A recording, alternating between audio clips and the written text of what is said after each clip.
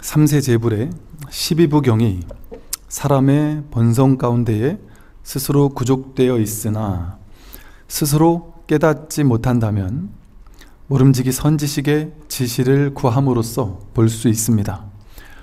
만약 스스로 깨닫는다면 밖으로 구할 필요는 없습니다. 아, 3세 제불의 3세 과거 현재 미래의 일체 모든 부처님이 설하신 그런 12부경 일체 모든 경전 대장경 모든 경전들이 사, 경전의 모든 가르침이 전부 다 사람의 본성 가운데 스스로 구족되어 있다. 일체 모든 지혜가 자기에게 있어요. 자기에게. 그래서 자기에게서 흘러나오는 것이지 바깥에 저 2500년 전에 석가모니 부처님에게만 있거나 어, 내 바깥에 따로 있는 것이 아니다. 지금 여기에 자기 본성에 스스로 구족되어 있다.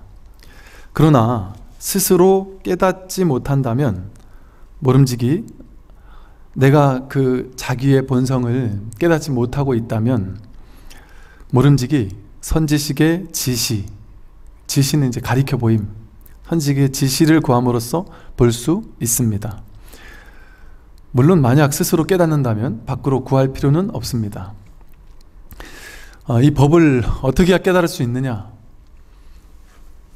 그 혼자서 혼자서 깨닫는다? 아 이건 정말 인류 역사 속에 그, 그야말로 몇 명 없을 거예요. 정말 희박한 일이죠. 정말 희우한 일이죠. 왜, 왜 그러냐면 당연히 그럴 수밖에 없는 이유는 뭐냐면 우리는 평소엔 항상 자기 생각, 분별, 분별의 습관, 생각의 습관에 이끌려서 살아가거든요. 근데 이것은 이제 분별과 생각을 한번 넘어서는, 한번 거스르는 공부다 보니까 그런 걸 한 번도 해본 적이 없단 말이죠. 한 번도 해본 적이 없이 분별에 끌려가면서 살기만 했다 보니까 그 습, 그 성, 그 습관밖에 모르는 거예요. 그러니까 그 이 전혀 아닌, 이 전혀 낯선 이 길을 내 스스로 딱 돌이켜서 회심을 한다? 이거는 쉽지 않습니다. 그러면 이것을 어, 수행법에 의지해서 깨닫는다? 수행법을 갈고 닦을 때 우리가 여기서 저기로 가는 이 중생에서 부처로 가기 위한 어떤 방법론의 방법의 배를 타고 이렇게 성문영각 뭐 보살 하듯이 어떤 특정한 수행 방법의 배를 타고 어디를 간단 말이에요. 그러면서 우리 용맹정진 한다 그러잖아요. 정진. 수행법을 열심히 갈고 닦는단 말이에요. 이 수행법을 열심히 갈고 닦아서 저기에 도착하기 위해서 갈고 닦죠.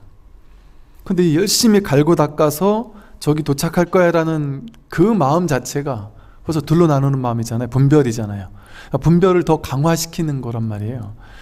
수행을 열심히 갈고 닦아서 저기로 갈 거야. 저기 여기저기를 둘로 나누는 게 벌써 분별이고 둘로 나누니까 수행법이라는 수단을 통해서 목적지에 도달하려는 분별을 하고 그 분별을 더 강력하게 추진하는 사람이 수행을 잘하는 사람이잖아요.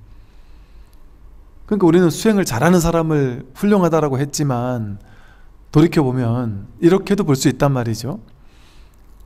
분별을 자꾸 강화시키는 거라고도 볼 수 있단 말이죠. 그것이. 물론 그렇다고 수행이 다 잘못됐다라는 것은 아니고 그렇게 수행으로 막 밀고 닦는 수행을 하다가 하다가 문득 돌이킨다든지 근데 그건 쉽지가 않아요. 막 수행하다가 문득 혼자 돌이키는 것은 혼자 깨달으는 것과 뭐가 다르겠어요? 쉽지 않죠. 근데 이제 이 방법 하나는 있죠. 수행하다 깨닫는 경우 대부분 여기 속합니다.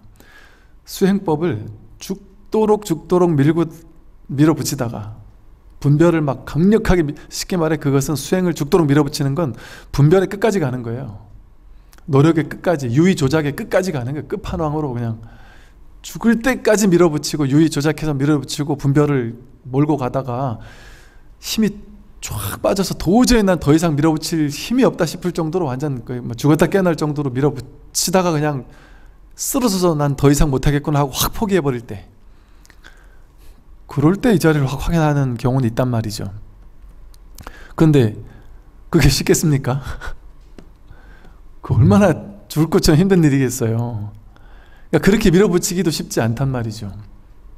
그래 밀어붙이기 쉽지 않고 그렇고 그렇게 밀어붙이다가 딱 포기한다고 해서 또 닿는 게 아니란 말이죠. 그러니 이 될지 안 될지도 모르는 그 힘든 일을 그 힘든 방법을 통해서 하려고 하니까 이렇게 오랜 세월 많은 사람이 공부를 하고 있지만 못 깨닫는 일이 벌어졌었던 것이죠. 그런데 놀라운 것은 지금 여기 6조 단경에서 설명하고 있는 이 방법을 썼을 때는 너무 쉽게 어떻게 저럴 수가 있지 싶을 정도로 너무 쉽게 깨닫는단 말이죠. 그게 부처님 당시가 그랬고 선의 황금기 때가 그랬고 지금 제2의 선의 황금기인 지금이 그렇단 말이에요. 우리 옛날에는 평생을 닦아도 견성하기조차 힘들다 이랬단 말이에요. 초견성 한번 하는 게 평생 30년, 50년을 닦아도 쉽지 않다. 이게 당연하다고 생각했어요. 그쪽 우스개를 설명하면 지금은 지금은요 이, 이 말한 선지식의 지시를 구함으로써 스스로 자기 성품을 확인하는 사람들을 보면 몇 달? 본인은 한 6개월 공부했는데 아직 못 깨닫는다고 막 억울해해요 아, 남들은 3개월, 4개월이면 깨닫던데 이, 이 자리를 확인하던데 나는 6개월 했는데도 나는 1년 했는데도 아직 모르겠어요. 제가 둔한가 봐요. 참 세상 세상 이렇게 달라졌나 싶어요. 30년 공부해도 자기 성품을 확인 못한다라는 게 당연하게 느꼈단 말이에요 그동안. 근데 지금 나는 6개월 1년 했는데도 모르겠어요. 이게 얼마나 바뀐 시대예요. 애써서 할 게 없다니까요 그냥 법문을 듣기만 했는데 그러니까 저절로 화두가 들리듯이 그냥 나도 모르게 몰입이 됐고 나도 모르게 왜 내가 왜 이러고 있는지도 모르게 몰입이 된단 말이에요. 그러다가 이게 뭐 깨달은지 말았는지 할 것도 없이 그냥 어느 순간 쑥 내려간단 말이죠. 얼마 전에 어떤 보살님이 찾아오셨어요. 당신은 이제 기복 불교만 그동안 평생을 해 오셨고 어, 열심히 열심히 살았고 그리고 뭐 종교 깨달음 이런 거 관심도 없었고. 근데 이제 작년에 작년에 당신이 이제 오래오래 열심히 돈을 벌어 가지고 25평 아파트를 예전에 사셨다는 거예요. 근데 이제 그게 아파트 값이 뭐 찔끔찔끔은 올라가지고 그러니까 이 정도 막 올랐나 보다 해서 돈도 좀 벌었고 해서 아 내가 30평대로 이사 가야 되겠다. 그래서 이 아파트를 25평 아파트를 팔고 30평대 아파트로 이사 가면 좋겠다. 그렇게 생각해 가지고 20평대 아파트를 팔았대요. 팔고 나서 그 잔금 받으면 이제 30평대를 살려고. 근데 25평 아파트를 팔았는데 팔고 나자마자 30평대 아파트를 살려고 보니까 갑자기 매물이 싹 감춰지더래, 없더래, 없어지더래요. 그 이게 무슨 일이지? 지금까지 이런 적이 없었는데 이게 무슨 일이지? 해서 막 우왕좌왕 하면서 여기저기 복덕방 가서 아무리 찾아도 내가 원하는 그 아파트 30평이 매매 나온 게 하나도 없어졌더래요. 그래서 너무 억울한데 그 아파트가 너무 뭐 좋았는지 하여간 거기서 어떻게든 살려고 찾고 찾고 찾다 보니까 한 달이 지났대요. 한 달이. 그런데 한 달 딱 지났는데 저, 저도 그 얘기 듣고 설마 한 달 만에 그게 그럴 수가 있나요? 의심을 했다니까요. 그런데 그분이 뭐 한 한 뭐 그 과장 좀 있겠죠. 뭐 한 몇 달 만에 그래 올랐겠죠. 그랬더니 진짜로 한 달 만에 3억이 올랐대요. 당신이 25평 아파트를 팔자마자 한 달 뒤에 25평 아파트가 3억이 올랐대요. 3억이. 그러니 본인이 살려고 했던 30평 아파트는 더 올랐겠죠. 그러니까 이제는 이 돈 가지고 30평 아파트는 고사하고 예전에 있던 25평 아파트도 못 사는 거예요. 그런데 그 일이 있고서 너무 충격을 받아가지고 이 괴로움이 말로 다 할 수가 없더래요. 그러니까 저는 그냥 이렇게 전에 듣는 듣는 입장에서 그게 그렇게까지 괴롭나? 어차피 나는 내가 손해 본 건 없는 거잖아. 어찌 보면 나는 내가 할 때 팔았고 나중에 오르는 거야 뭐 그건 그냥 지가 알아서 오른 거고 그건 그 사람 거니까 그 사람이 오른 거지 나랑은 상관없는 일일 수 있지만 이걸 이걸 당하는 입장에서는 이 괴로움이 말로 다 표현할 수 없을 정도로 괴로운가 봐요. 막 실제로 내가 당한 게 하나도 없지만 막 억울한 것 같고 사목을 놓친 것 같고 막 이런 느낌이 든단 말이죠. 이제는 이 동네 와서 못 사는 게 돼, 돼버린 거죠. 그러니까 이제 더 외곽으로 가야 되는데 더 억울하다 이거죠. 근데 그때 너무 괴로워서 이게 막 이루다 말로 표현할 수 없을 정도로 괴롭더랍니다. 그래서 너무 괴롭다 보니까 이걸 막 어떻게 어디가 하소연할 수도 없고 뭘 할 수도 없어서 너무 힘들어서 막 정신적으로 너무 어렵더라는 거예요. 그래서 내가 난생 처음으로 이 마음을 어떻게 좀 이거 진정을 시켜야 되는데 진정이 안 되니까 난생 처음으로 유튜브에서 막 법문을 찾아 듣기 시작했대요. 그러다가 이제 이 법문을 듣고서 나도 모르게 너무 괴롭다 보니까 이걸 옛날에도 이렇게 스쳐 지나가는 게 있었는데 안 봤다. 들어도 뭔 얘기인지 모르겠었다. 그런데 그 괴로움이 있었다 보니까 이 법문이 그냥 확 들어오더라는 거예요. 그러면서 갑자기 나도 모르게 한 6개월 가량을 그냥 미친 듯이 몰입이 나 지금 돌아보니까 그렇게 몰입이 돼 있더라는 거예요. 어떻게 내가 이렇게까지 몰입할 수 있나 싶을 정도로 완전 다른 건 다 두 번째 세 번째 제끼고 오로지 하루 종일 이 법문만 듣고 어느 날인가 올 한 초중반 되는 어느 날인가는 너무너무 답답해가지고 이걸 모른다라는 사실이 너무 답답해서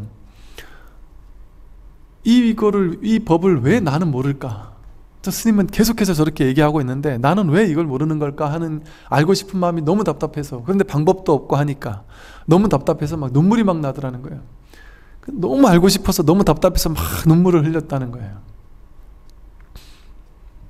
근데 그 눈물이 그분 표현에 그 눈물은 내가 태어나서 한 번도 흘려보지 못한 종류의 다른 종류의 눈물이었다는 거예요. 뭔가 막 깊은 곳에서부터 우러나오는 것 같은 내가 왜 우는지도 모르겠는 왜 이렇게 내가 펑펑 울어대는지 나도 모르겠는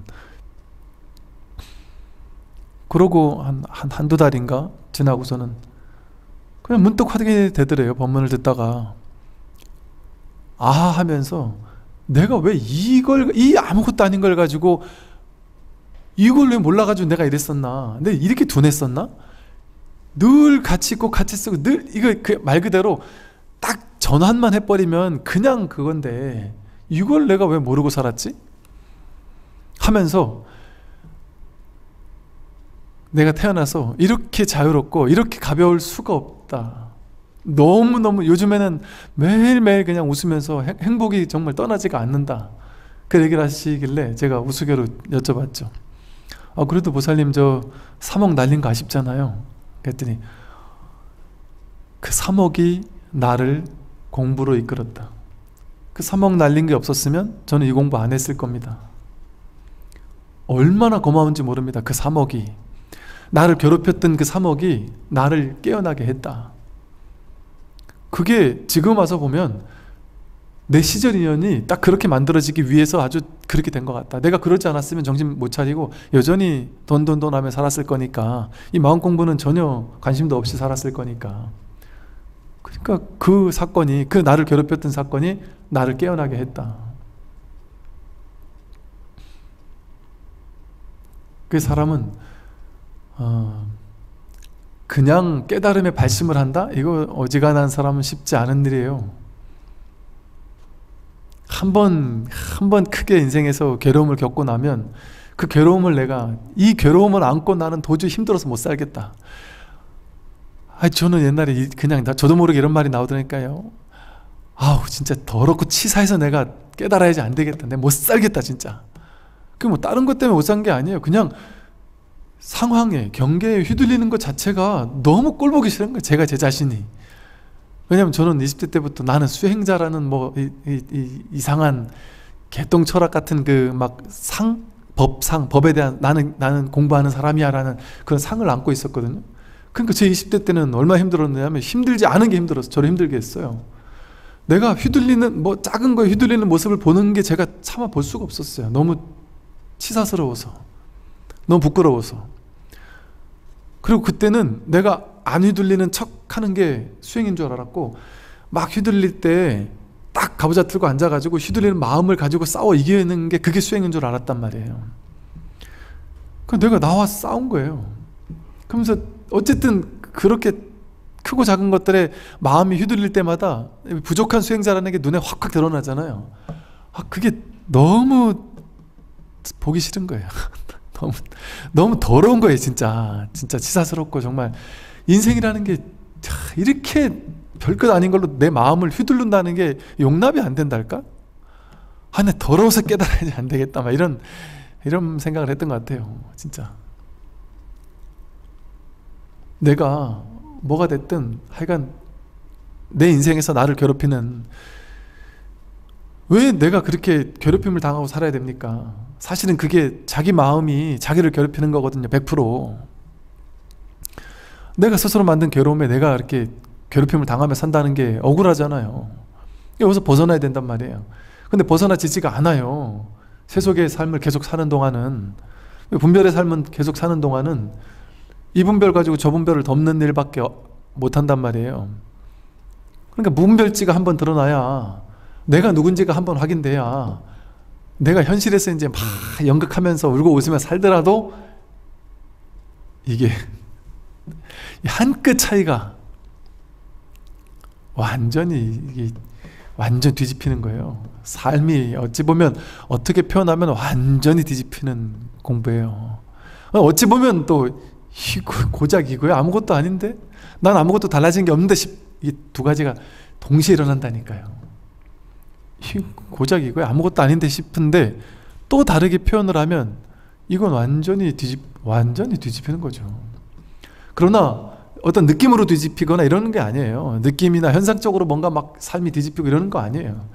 그냥 일상과 똑같다. 그런데 이게 내가 아니고 내가 지금까지 그렇게 휘둘려 왔던 이 느낌, 감정, 막 화, 생각, 어떤 의지, 의식 이런 게 내가 아니라는 게 분명해지다 보면 이 몸이나 마음이 내가 아니라는 게 분명해진다 보면 그러나 이 현실에서 살아야 되지만 이게 얼마나 뒤집히는 일이에요 세상이? 완전 이거 뭐랄까 차원이 다른 이야기죠 이 몸에 갇혀 살다가 이게 나라고 생각하며 살다가 아 이게 아닌 진짜가 드러난단 말이에요 진짜가. 그러면 허상에는 내가 신경 쓸 필요가 없구나. 허상에 내가 지금까지 살아왔던 것처럼 허상 하나하나에 다 내가 실제감을 실어주고 중요도를 부여하고 심각성을 부여한 다음에 내가 거기 걸려 넘어지는 다 꿈 같은 세상에 모든 일이 일어나지만 한 일도 일어난 바가 없어요. 그 모든 나를 괴롭히는 사람이 있지만 나를 괴롭히는 사람이 없어요. 내 마음 안에서 일어난 생각들이에요. 그 모든 괴로움들이 바깥이라는 게 없어요, 사실은. 바깥 경계가 없습니다. 둘이 아니에요. 일어났지만 일어난 게 없어요. 정말로. 누가 나를 괴롭혔지만 나를 괴롭히는 사람이 없어요. 자기가 괴롭히는 거지, 자기를. 모든 이 지금 막 심각한 사건들이 일어났지만 이게 하나도 심각하지 않은 일이 돼버려요. 자식 막 좋은 학교 가는 게 막 중요하고 남편 이번에 진급하는 게 중요하고 내가 여기서 인정받는 게 중요하고 이렇게 막 돈 버는 게 중요하고 이렇게 막 중요하게 생각하던 것들이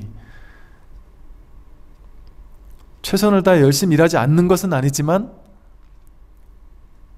그냥 가벼워진단 말이에요. 가벼워진다.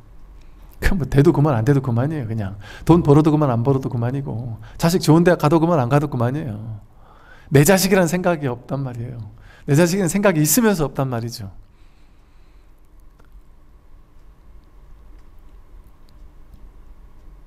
근데 어떻게 해야 깨닫느냐? 내 혼자 아무리 버티고 하려고 해도 안 돼요. 내 혼자 되는 공부 아닙니다, 이거는. 그런데 너무 쉬운 일이 있단 말이에요. 어, 저기 성품짜리를 확인한 사람이 하는 본문에는 늘 이 성품짜리를 밝히고 있단 말이에요. 가리키고 있단 말이에요. 지시하고 있단 말이에요. 여기 선지식의, 모름지기 선지식의 지시를 구함으로써 볼 수 있습니다.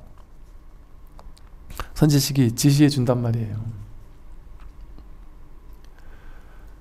정말로, 정말로, 이, 이게 법이에요. 진짜로. 거짓말 하나도 안 하고 진짜로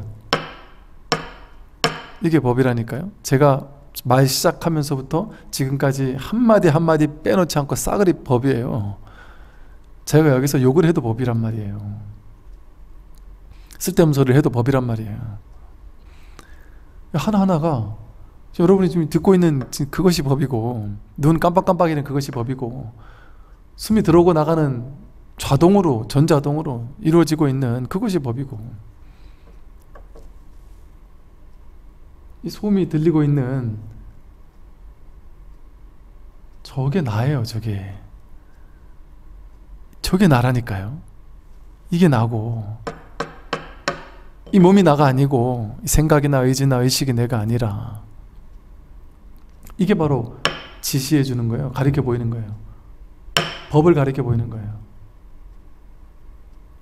선지식이 이렇게 지시를 하면 모르는 입장에서는 꽉 막힌단 말이에요. 꽉 막혀야 정상이에요.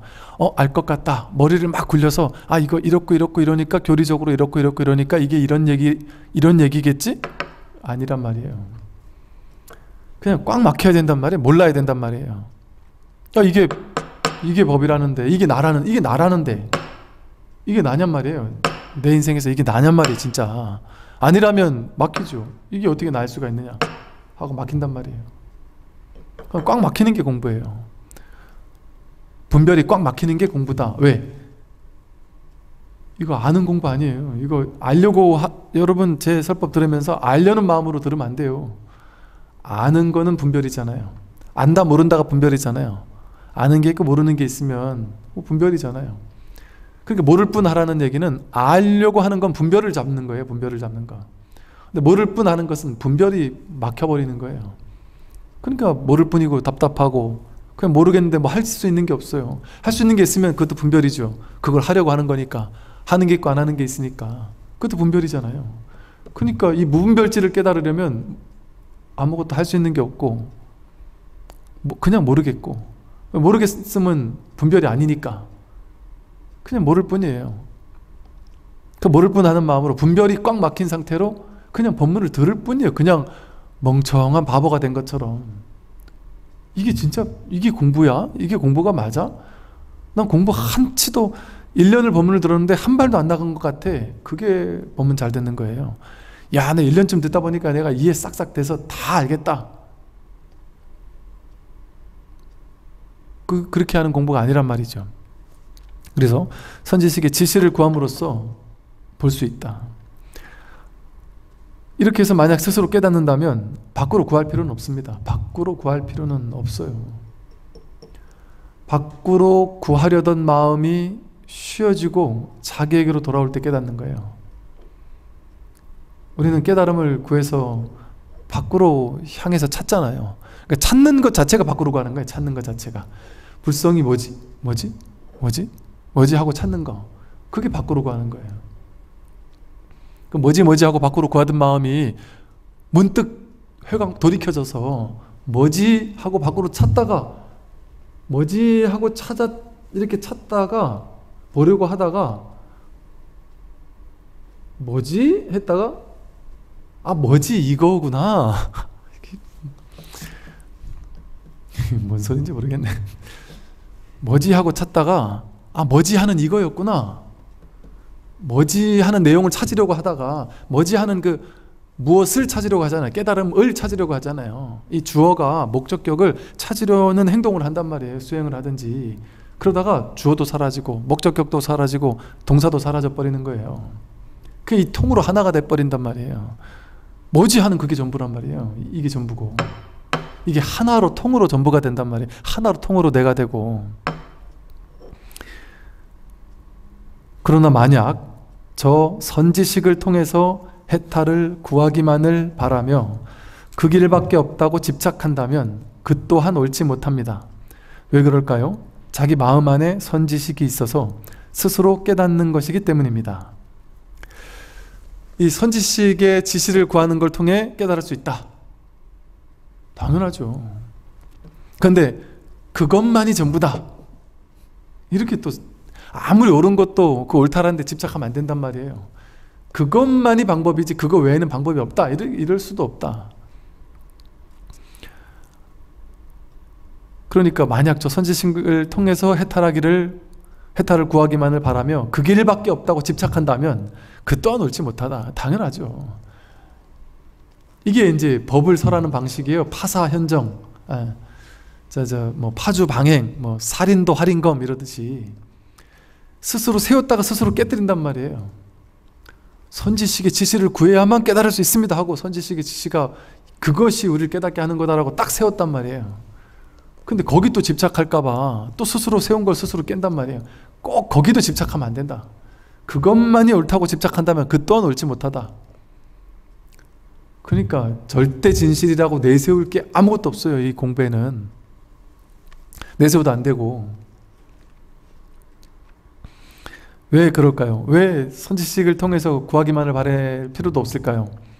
자기 마음 안에 선지식이 있어서 스스로 깨닫는 것이기 때문이다. 자기가 선지식이고 자기가 마음이고 자기가 법이에요. 그래서 깨달을 때는 아 내가 법을 깨달았다 이런 일은 일어나지 않아요. 자기가 자기를 확인하는 거지. 법이 법을 확인하는 거지. 아, 본래 법이었구나. 법 하나밖에 없었구나라는 사실을 깨닫는 거지. 만약 삿되고 어리석은 망념을 일으켜 전도된다면 삿되고 어리석은 망념, 분별을 얘기하죠. 분별을 일으켜서 전도 뒤집힌다면 비록 외부의 선지식이 가르쳐 주더라도 구제할 수 없습니다.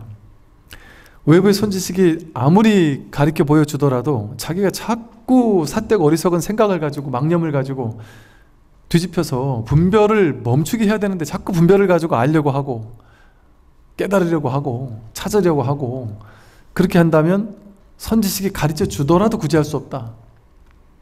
자기 생각을 가지고 삿되고 망령된 그런 어리석은 생각을 가지고 하는 건 전도된 뒤집힌 거예요. 전도 거꾸로 뒤집힌 거. 왜? 분별이 아닌 무분별을 얘기하고 있는데 분별 가지고 무분별을 찾으려고 하니까 전도됐죠. 그러면 구제할 수 없다. 그 안한존자가 부처님 많은 제자들 중엔요. 법문 한 번 듣고 바로 깨어나는 제자들도 많거든요. 그런데 평생을 옆에서 외우고 다 듣고 들은 걸 싹 다 외우고 있었던 안한존자는 부처님 열반하실 때까지 못 깨달았어요.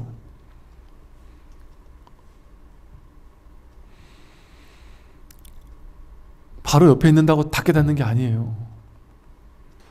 그러나 또 멀리 있다고 못 깨닫는 것도 아니에요. 아, 인터넷으로 보면 듣기만 했는데도 깨달을 수 있는 사람들도 있다. 있을 수 있어요. 있을 수 있어요. 물론 직접 와서 듣는 것보다는 또 다르겠죠. 또 옛날처럼 막 제가 그야말로 출가해서 바로 옆에서 늘 시봉하면서 매일같이 법을 듣고 이럴 수 있다면 또 다르겠죠. 그러나 맨날 시봉하고 있는 이 사람이라고 무조건 깨닫고 어쩌다 한번 이렇게 와서 법문 듣는 사람이라고 못 깨닫고 그렇게 보장된 일이 없단 말이에요. 안한존자 평생을 들었어도 못 깨달았다.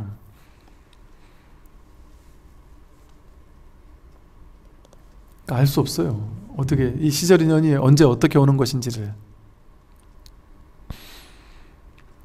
만약 바르고 참된 반야 지혜를 일으켜 비추어 본다면 바르고 참된 반야 지혜 무분별지를 일으켜서 무분별지로서 비추어 본다면 그냥 비추어 본다면 분별하지 않고 그냥 비춘다면 여러분 이렇게 비추잖아요 그냥 분별하지 않는다면 여기 뭔 일이 일어나 있고 있어요 지금? 분별하지 않는다면 분별하면 저 앞에 있는 스님 그러니까 이게 내가 말로 그렇게 이해한다는 게 아니라 나도 모르는 사이에 이 분별은 나도 모르는 사이에 분별은 이걸 보자마자 내가 눈으로 저 스님이 손으로 컵뚜껑을 휘두르고 있는 것을 내가 보고 있네. 이런 식으로 나도 모르게 여기서 분별이 되고 있단 말이죠.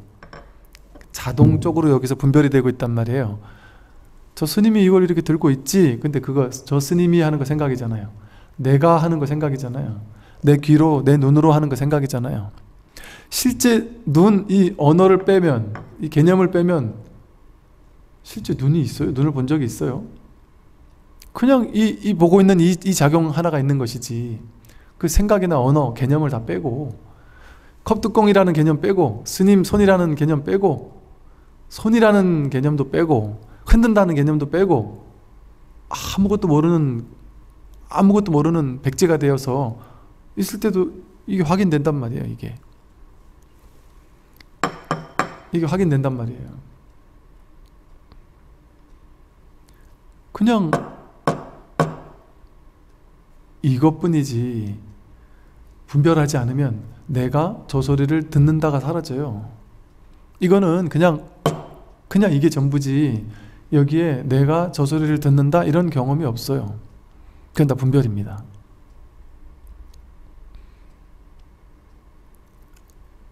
진짜를 부처님이 와서 보라 직접 보라는 것이다. 직접 이거 그냥 법문 듣고 스님이 그렇다니까 그렇겠지. 혹은 스님이 저렇게 얘기하는데 저게 왜 저럴까? 아 주와 객이 둘이 아니니까 그런가? 아 이것이 있으므로 저것이 있으니까 저것이 있어야 이것이 있으니까 연기법이니까 연기법은 거 하나라는데 그러니까 그렇겠지. 이렇게 이해하는 건 아무 쓸데없단 말이죠. 쓰레기와 같다. 아무 쓸데없다. 직접 직접 경험해봐라 직접 경험했을 때 여기에 내가 저 소리를 듣는다. 그 생각이잖아요. 그 생각 다 빼고 여기 진짜 일어나는 건 뭐가 있을까요? 진짜 여기 일어나고 있는 게 뭐가 있어요 지금?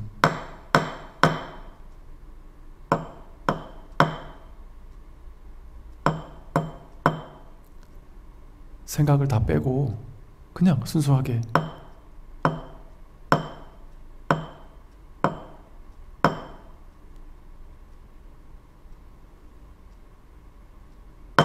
이거예요? 이거 이거 하나. 이거 하나. 여기서 저 소리를 듣는 것도 아니고 내가 저 앞에서 나는 소리를 듣는 것도 아니고 그냥 이거 하나예요. 이거 하나가 일어나고 있어요. 이거 하나 확인되고 있다. 그러니까 이게 나라고도 표현할 수도 있고 그러나 또 이것도 말이니까 이거 말에 걸릴 필요는 없고 그냥 말로 그렇게 표현해 본 거예요. 이게 전부다 이게 법이다 이게 마음이다 이게 나다 이렇게 할 수도 있다. 이렇게 바르고 참된 반야지혜를 일으켜서 비추어 본다면 한 찰나 사이에 망념이 모두 사라질 것입니다. 한 찰나 사이에 문득 한 찰나 사이에 도노를 얘기해요. 문득 망념이 다 사라진다 문득 분별의 습관이 탁 놓여나면서 이 무분별지가 드러난다. 말로 표현하면 이렇게 표현을 하는 거예요. 말로 표현하면. 그러나 이렇게 얘기했다고 해서 머리로 그릴 필요는 없다. 아 이게 생각이 갑자기 딱 멈추고 이 우주가 갑자기 딱 멈추고 뭔가 정지하는 순간이 우주가 확 정지하는 순간에 나만 탁 깨어있는 뭔가 깨어있으면 막 확 퍼지는 뭔가 뭐 이런 게 뭔가 있겠다 뭐 이런 것도 다 생각이란 말이에요. 그런 그런 식의 깨달음의 순간을 그림 그려 놓게 되면 어떤 경우는 스스로 깨닫고도 이건 깨달음 아니 하고 또 찾을 수도 있어요. 왜? 내가 그려놓은 환상적인 깨달음이 이, 이 정도 고작 이게 아니거든요. 그 실제 스님들 중에는 본인이 이 자리를 확인하고도 이거 아니야 하고 끝까지 찾는 사람들이 있어요. 찾는 사람이 있단 말이에요. 왜? 이렇게 시답자는 게 아니거든요. 내 머릿속에 만들어 놓은 깨달음은. 근데 찾게 되면 여전히 둘로 나누잖아요. 찾는 나와 차, 찾는 것이 여전히 둘로 나뉘잖아요. 그러니까 다시 어긋나 버리는 거예요. 그래서 이 자리를 확인하는 것만 중요한 게 아니라 확인하고 나서 이 법문을 듣는 걸 통해서 바른 견해, 진정 견해, 바르고 참된 견해를 안목을 갖추는 것, 불지견을 갖추는 것 이게 중요해요. 그래서 법문을 들어야 되는 거예요. 내가 알아도 모르는 줄 알 수도 있고 또 내가 확인하는 것이 자꾸 왔다 갔다 하는 것처럼 느껴질 수도 있거든요. 어, 제는 분명히 있는데 이젠 사라졌어요 하기도 하고 그 그거는 어, 엄한 걸 잡은 거죠. 깨달음의 액기스를 잡은 게 아니라 진짜를 잡은 게 아니라 그 부수작용들 깨달음의 부수 부수적인 느낌이나 체험이나 체험의 순간의 어떤 감동이나 이런 그 왔다 가는 허망한 거를 붙잡고 깨달음이라고 착각한 거죠. 깨달음은 본유, 금유라고 하듯이 본래 있던 거라서 어리석을 때도 본래 갖추고 있던 거예요. 어리석었을 때도 그대로 갖추고 있던 거. 그러니까 지금 지금 신비주의적으로 어떤 내가 의식이 막, 막 희한하게 변성돼야지만 내가 깨달은 것이냐 그런 게 아니란 말이에요. 그러니까 우리는 그러잖아요. 깨달은 사람은 항상 의식 변성의 상태에 있을 거야. 뭔가 세상을 통으로 하나로 보고 있을 거야. 깨달은 사람은 뭐 우리와 같은 중생틱한 이런 일들은 안 할 거야. 깨달은 사람은 늘 깨달은 사람처럼 행동할 거야. 그리고 깨달은 사람의 행동은 이런 거야. 이렇게 정해놓는단 말이에요. 저, 저도 옛날에, 옛날에 깨달은 도인은 텅 빈 방에, 집안, 방 안에 물건도 하나도 안 갖다 놓고 텅 빈 방에 그것도 이제 한지로 다 깔끔하게 해놓은 텅 빈 방에 그것도 산사 한가운데 텅 빈 방에서 하루 종일 가만히 앉아 있어도 하나도 심심하지 않고 항상 선정에 들어 있고 나가서 배고프면 풀과 이슬과 아주 소박한 음식을 쬐끔만 먹고 그리고 또 혼자 아무것도 안 하고 가만히 앉아 있는데 충만함을 늘 느끼면서 이 충만감 가운데 다 기쁨을 누리면서 늘 그러고 앉아 있을 거라고 생각을 했단 말이에요. 근데 이제 어, 이제 지금 생각은 깨달은 도인이 지금 나타난다면 어떻게 어떻게 할까요? 여러분 중에 누가 하나 깨닫는다면 어떻게 할까요? 아침에 알람 맞춰놓은 거 허겁지겁 일어나자마자 아따 시간 없네. 후다다닥 밥 먹고 세수하고 화장하고 회사를 가고. 금요일 저녁이 되면 아우 일주일에 힘든 게 다 끝났네. 이제 내일은 쉴 수 있네. 하는 막 회방감에 친구들하고 술 한잔 하고 집에 들어와서 토요일 일요일 날 재밌는 TV 프로 볼만한 TV 프로 없나? 예능 프로도 한번 보고 내가 좋아하는 드라마도 한 번씩 보고 그러면서 이제 TV도 보다가 배고픈 밥도 먹고 커피도 한 잔 마시고 그렇게 살면 그건 도인 아닐까요? 도인은 술도 안, 안 마셔야 되고 담배도 안 피울 거야. 그거는 자기 마음이죠. 도인에 따라 다르겠죠. 이, 이, 이 법 공부를 좀 깊이 하고 났어도 담배 계속 피는 사람도 있어요. 그래야 폐암 걸려 죽은 성자도 있잖아요. 계속 술을 먹을 수도 있어요. 술 되게 좋아하시는 분들도 있죠. 이 깨달음을 법문하는 사람들도 막 술자리 엄청 좋아하는 사람들도 있어요. 그래서 공부하러 온 사람들하고 늘 법문 끝나고 가서 술 먹고 그러다가 사고 나서 다치기도 하고 이럴 수도 있단 말이죠. 그 겉으로 보면 너무 똑같단 말이에요. 그리고 제가 다 존경하던 어떤 분이 참 이게 정말 원반한 깨달음을 얻었다라고 다 봤던 분이었는데 옛날에 아 이분이 전화를 하는데 전화를 하면서 화를 버럭 내면서 막막 그냥 흥분하면서 화를 내는 거예요. 옛날 같았으면 제가 막 충격받았어요. 충격받아가지고 어떻게 이럴 수 있지? 내용을 들어보니까 별것도 아닌 내용인데 저거 가지고 막 버럭 화를 내면서 어떻게 저럴 수 있지 도인이? 충격받았을 거예요. 그 이제는 킥킥거린단 말이에요. 그걸 보면서 재미나게 웃는단 말이에요.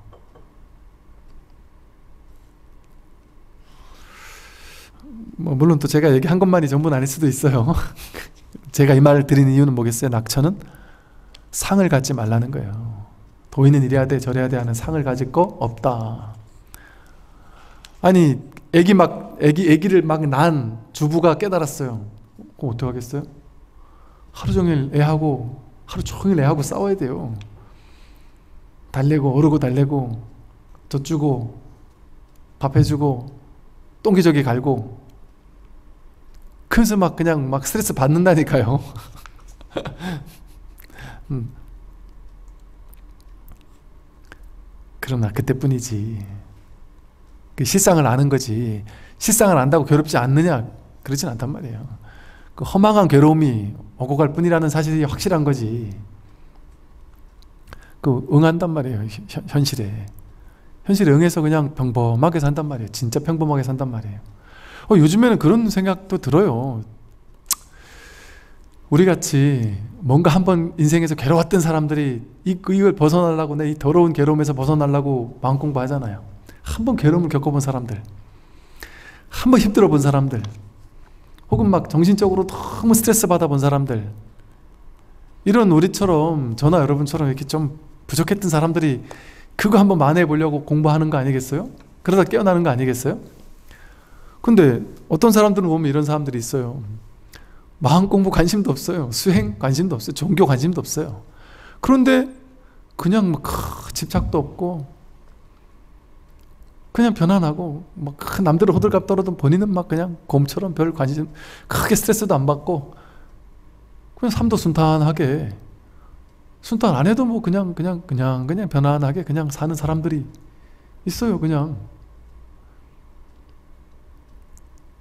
물론 이제 결정적으로 그런 사람이 나중에 가서 막 큰 병이 오거나 죽음이 앞당에 오거나 이래 됐을 때 무너지겠지만 그런 모습을 보면서 야 도인이라면 저러고 저러고 살지 않을까 이런 생각이 들기도 해요. 그러니까 다를 게 없단 말이에요 우리랑. 그러니까 법이라는 상을 가지게 되면 어, 거기에 내가 스스로 어, 깨달으면 이런 걸 거야 하고 자꾸 제한하니까 어, 그걸 깨라고 하, 드린 말씀이에요. 선지식들은 어, 아, 한 찰나 사이 망념이 모두 사라질 것입니다. 만약 자성을 한 번 깨달아 알면 곧장 부처의 지위에 이릅니다. 자성을 한 번 깨달아 알면 곧장 부처의 지위에 오르는 거예요. 이게 도노 돈수예요. 법의 입장에서 보면 도노 돈수예요.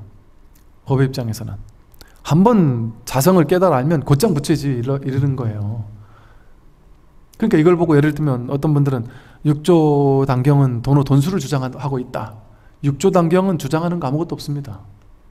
여기는 주장이 없어요. 이게 여기에 주장이 있었다면 그거는 외도의 가르침이게요. 부처님 말씀이 치우친 견해에 집착하는 게 있다면 견해가 있다면 그건 외도다 이랬잖아요. 뭐가 외도냐? 어떤 견해라도 붙잡는 견해가 있다면 그건 전부 다 외도다 이랬다면 그게 정견이라 그랬단 말이에요. 근데 이런 걸 볼고서는 육조 단경은 돈호 돈수를 주장해 이런 거 이건 아니라니까요. 여기 주장하는 게 없어요. 그냥 자연스러운 진실을 그냥 얘기하는 거예요. 덤덤하게. 자성을 한 번 깨달아 알면 곧장 부처의 지위에 이르는 거예요. 1초 직입 열애지. 1초 문득 몰록 열애 지 위에 곧장 오른다. 돈호 해버리면 돈수 닦는 것까지 끝나버린다. 당연한 얘기죠. 그런데 법의 입장에서는 돈호 돈수예요. 이 말이 맞아요.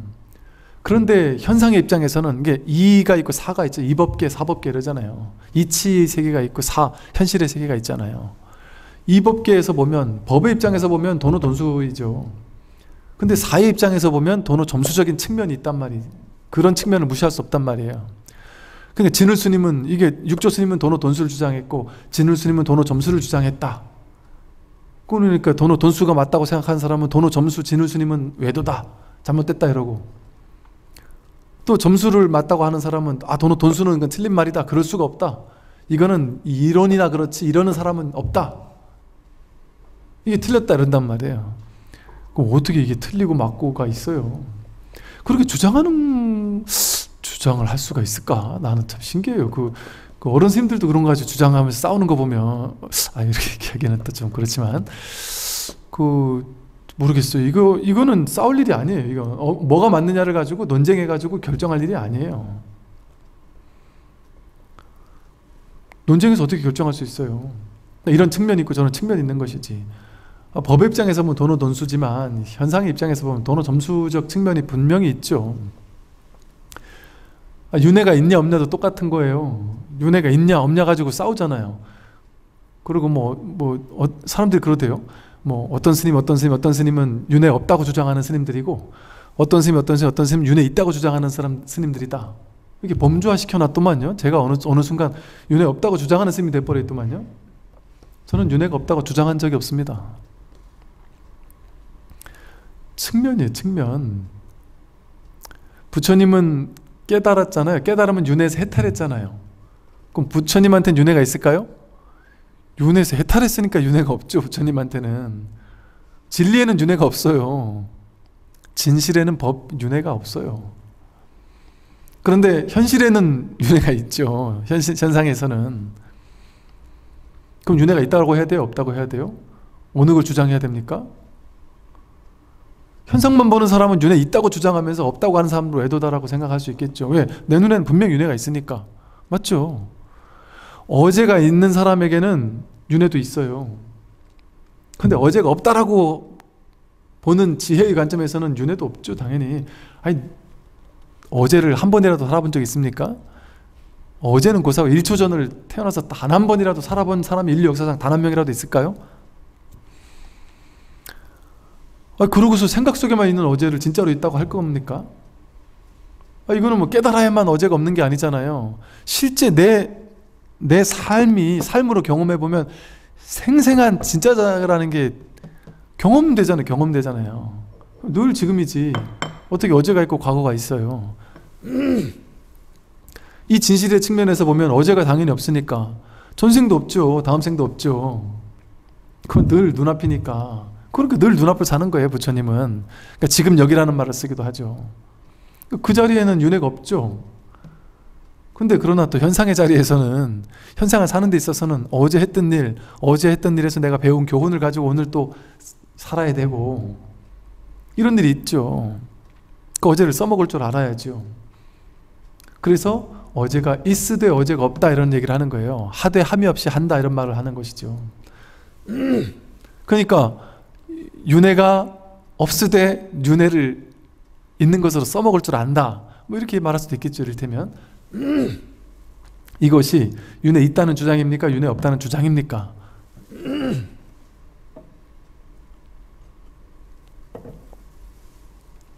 주장을 하면 다 틀려요. 주장을 하면 어떻게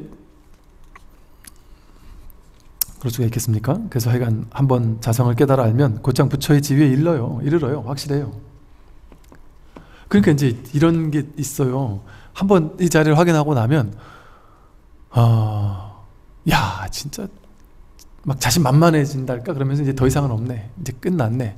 공부가 끝났다. 더 이상은 있을 수가 없구나.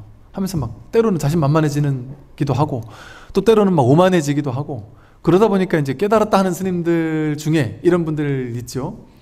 나만 진짜 깨달음 이건 남들은 다 틀렸어 이런 식으로 얘기하는 분들이 계세요. 근데 그것을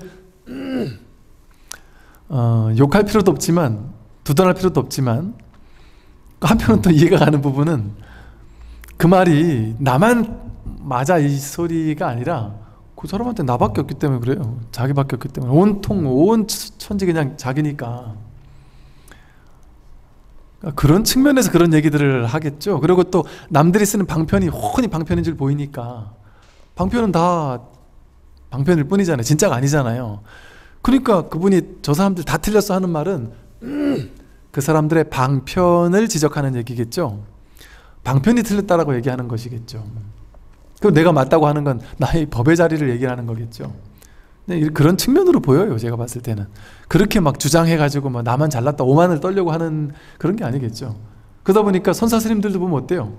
다들 깨뜨려요. 다 긍정을 안 해요. 수, 정을 수긍을 안 한단 말이에요. 아, 저 사람의 법이 제자의 법이 야 그만하 훌륭하다 이런 얘기 어지간해서는 잘 안 한단 말이에요. 야, 막 전보다 조금 조금 낮았다. 뭐 이 정도면 엄청난 칭찬일 수 있겠죠. 그래서 여기는 막 긍정해주고 막 이런 문화가 없어요. 그래서 한 측면으로는 야 진짜 완전 뭐 야 이제 뭐 더 이상 공부할 거 없구나 완전 끝난 것 같은 자유로움 자제함 내지는 그 자신감 이런 게 한편으로는 있고요 그러니까 완전히 뭐 증오라고 할 만한 부처가 되지 않더라도 문득문득 뭐 그런 마음이 들 수도 있단 말이죠. 근데 그러다가도 그러니까 아마 백장 스님이 그랬다래요. 이래 있다가 가만히 있다가 당신이 그냥 침을 한번 퇴뱉더래요. 에이 하면서 침을 퇴뱉더래요. 옆에 있는 제자가 왜 그러십니까? 그랬더니 아 내가 순간 내가 야 내가 이대로 부처구나 하는 생각이 들어서 내가 부처네 하는 생각이 들어서 더러워서 침 뱉었다. 그런 더러운 생각이 일어난단 말이에요. 내가 부처다라는 생각이 일어나도 더러운 생각이죠. 근데 그런 생각이 들 때도 있단 말이죠. 그러나 또 이제 현실에서 보면 현실에서 또 업에 휘둘리고 막 모양에 딸, 끄달려 가고 생각에 끄달려 가는 것들이 또 있단 말이에요. 업이 완전히 막 다 업을 조복받지 못하는 측면들이 있단 말이에요. 또 그런 모습을 보면 또 하, 진짜 아직 멀었구나 하 거나 혹은 야 내가 이거밖에 안 되나 하거나 이럴 수도 있단 말이에요. 이 두 측면이 같이 있단 말이에요. 그러니까 돈은 돈수적인 측면과 돈은 점수적인 측면이 같이 있단 말이에요. 분명 돈은 돈수적인 측면이 있어요. 야, 더 이상 있을 게 있나? 더 이상 있을 게 없다. 더 이상 있을 게 없다. 이런 어떤 그 감각이 있단 말이에요. 그 감각이 어찌 보면 돈은 돈수적 측면이에요. 그러나 또 현실에서는 뭔가 미진함을 또 느낀단 말이에요. 거기에 의지해서 공부하는 거죠. 그러니까 이제 해오가 나중에 증오가 된다든지, 뭐 견도, 수도, 무학도가 된다든지, 뭐 수다원, 사다함, 아나함, 아라한이 된다든지 이런 식의 방편을 또 쓰기도 한 거겠죠. 선지식들이요 지혜로 비추어 보아 안팎으로 밝고 분명하면 내외 명철하다래요. 지혜로 비추어 보아서 이 지혜는 늘 이렇게 그냥 비춰 보는 거거든요. 이렇게 그냥 비춰 보는 거거든요. 분별하지 않고 그냥 비춰 보는 이 지혜로 비추어 보는 이것은 그냥 우리에게 모두에게 다 기본 장착되어 있는 기본적으로 다 갖춰져 있는 것이죠. 지혜죠. 이 지혜로 비추어 보아 안팎으로 밝고 분명하면 내외가 명철하면 안팎으로 밝고 분명하다. 내외가 둘이 아니게 된단 말이에요. 그냥 밝고 분명하다. 그냥 이, 이, 이 비춰보는 게 그냥 밝고 분명한 거예요. 분별하지 않는 게 밝고 분별한 거예요. 밝고 분명한 거예요. 내 명철. 분별하지 않으면 좋다할 것도 없고 싫다할 것도 없고 이것다 저거다 나눌 게 없잖아요. 그게 내가 명철해지는 거예요. 안팎이 따로 없어요. 그땐 주관 객관이 없어요. 내가 저것을 본다라는 게 없어요. 그냥 비추어 볼 뿐이지. 지혜로 비출 뿐이지. 그러니까 지혜로 비추게 되면 그냥 내 명철이에요. 그러니까 내 명철이라는 어떤 경계가 따로 있어서 어떤 내 명철이라는 어떤 감각이 느낌이 따로 있어서 아 내가 지혜로 비춰 보게 되면 뭔가가 세상이 쨍 하고 보이고 뭐 이런 경계가 따로 있다는 얘기가 아니에요. 그런 경계가 따로 있으면 그건 법이 아니잖아요. 불이법이 아니잖아요. 그러니까 본래가 내 명철이에요. 본래가. 근데 우리는 이 내명철인 측면을 보지 못하고 항상 분별을 따라가서 어두워지고 분별을 따라가니까 이게 괴롭고 저게 괴롭고 내가 부족한 것 같고 내가 못난 것 같고 이런 생각들을 쫓아다니니까 명철해지 명철하지 못하죠. 좋은 건 더 집착해야 되잖아요. 싫은 거는 막 밀쳐내야 되잖아요. 화내야 되잖아요. 내가 못났나? 내가 잘났나?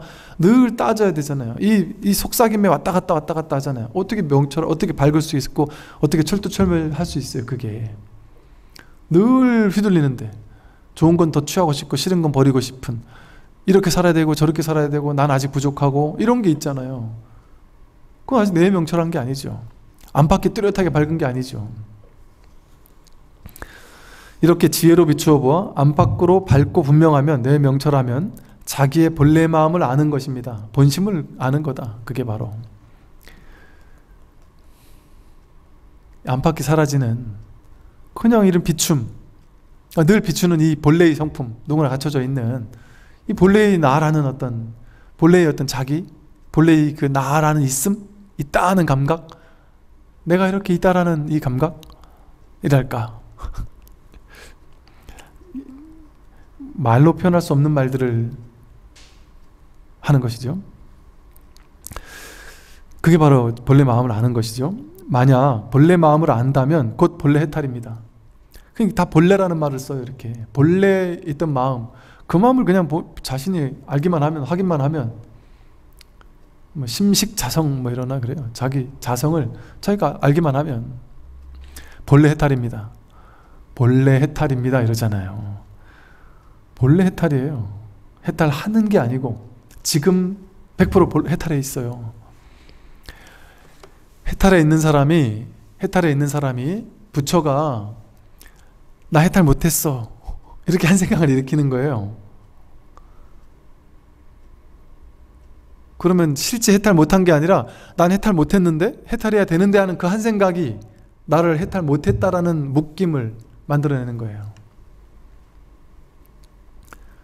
그 한 생각이 사라지면 본래 해탈인데.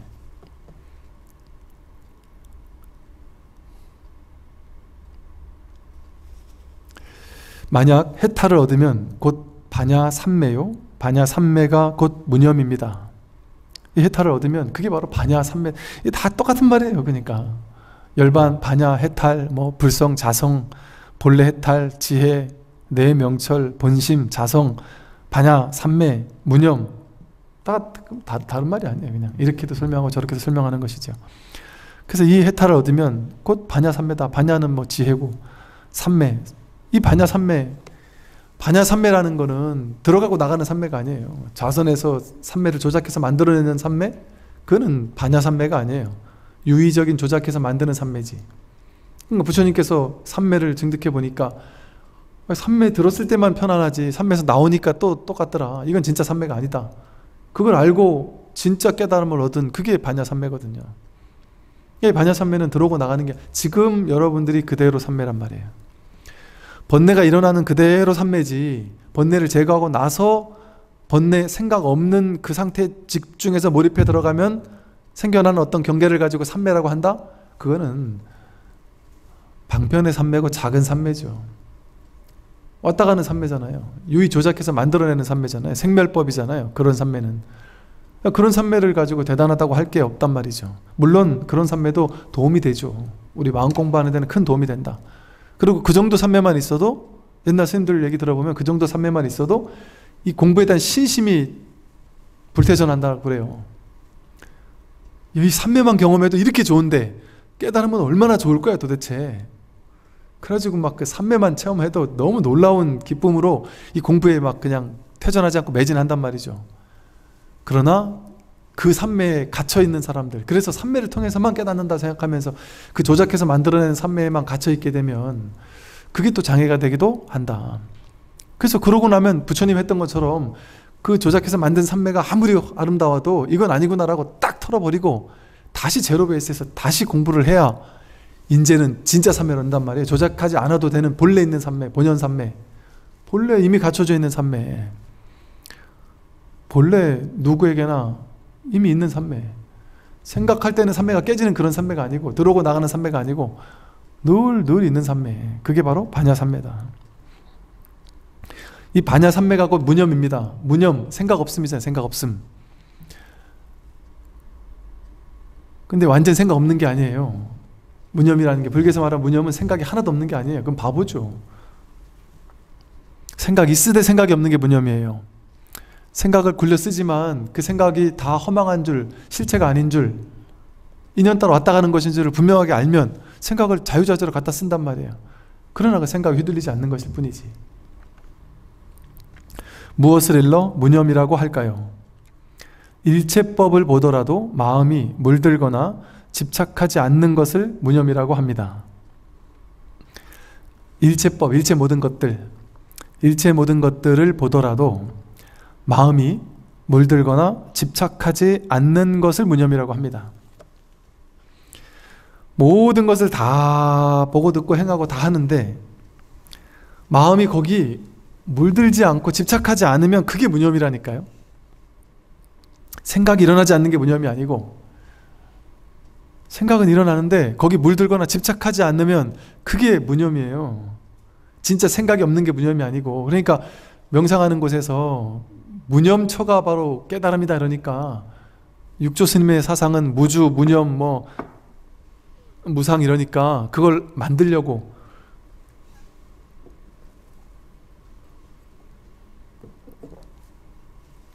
조작해서 만들려고 애쓰는데 그것은 진짜 무념이 아니다.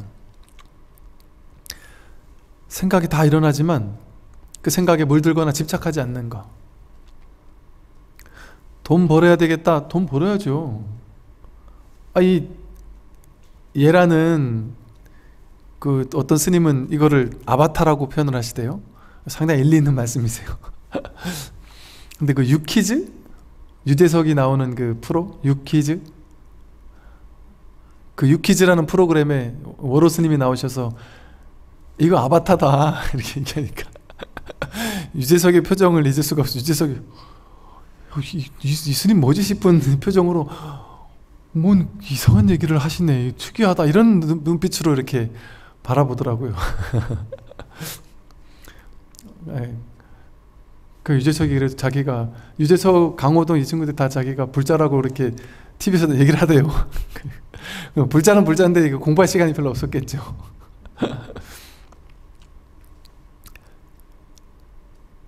아 이걸 조금만 더 약간만 많이 풀어주면 안 되지만 약간만 더 아, 풀어줬으면 조금 더 좋았을 텐데 하는 생각이 들긴 하더라고요. 맞는 말이에요.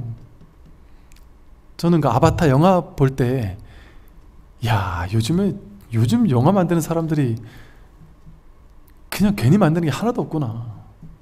요즘 그 서양이나 유럽, 미국 이런 데서 나오는 영화들도 보면요. 이 마음 공부의 이치 같은 것들을 은연중에 이렇게 담아내는 그 의도하고 했는지 안 하고 했는지는 몰라도 그런 어떤 작가들 이런 사람들이요. 어떤 그런 안목들이 좀 있는 분들이 많아요. 그 신기해요. 깜짝깜짝 놀라는 이건 하나의 캐릭터거든요. 아바타라는 말은 뭐예요? 진짜 내가 아니라는 소리죠. 그건 진짜 내가 아니에요. 내가 움직여 쓰는 거지, 쓰고 있는 거지. 근데 이제 내가 쓰고 있는 아바타잖아요, 이게 지금. 지금은 내가 쓰고 있는 아바타잖아요.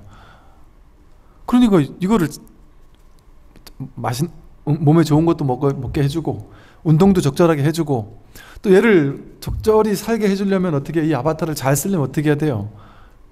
돈 벌어야 돼요.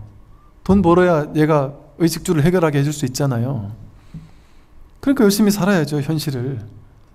돈 벌어야죠. 돈 벌겠다는 마음을 내는 게 그게 무념이에요. 그런데 일반 중생들은 돈 벌어야지 하고 돈에 물들어 집착한단 말이에요. 근데 이 아바타인 줄 알고 무한 줄 알고 쓰는 사람은 돈은 벌어야 돼요. 그래서 버는데 이게 그냥 내일이 아닌 줄 아는 거예요. 최선을 다해서 벌긴 벌되 뭐 뭐랄까 아님 말고 하는 게 그냥 깔려 있어요. 그냥 그 사람의 존재 자체에 다 깔려 있단 말이에요. 열심히 살지?